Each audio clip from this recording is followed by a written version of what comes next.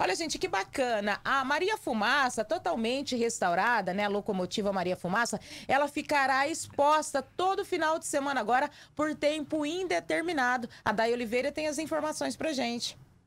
Olá, Ana. Olá a toda a audiência do RCN Notícias. Ana, a pedido da população, a Prefeitura de Três Lagoas, através do Departamento de Cultura, decidiu deixar exposta a Maria Fumaça, que ficou escondida por 40 anos. Então, ela vai ficar exposta por tempo indeterminado, ali na Avenida Rosário Congro, na antiga estação ferroviária. Hoje, a Maria Fumaça, totalmente restaurada, já está exposta desde as 7h30 e fica até as 5 da tarde e amanhã no sábado ela também estará exposta das 7h30 ao meio-dia. Este será o cronograma, não tem data para acabar, então a população pode fazer a sua visitação, tirar fotos ali na Avenida Rosário Congro tranquilamente.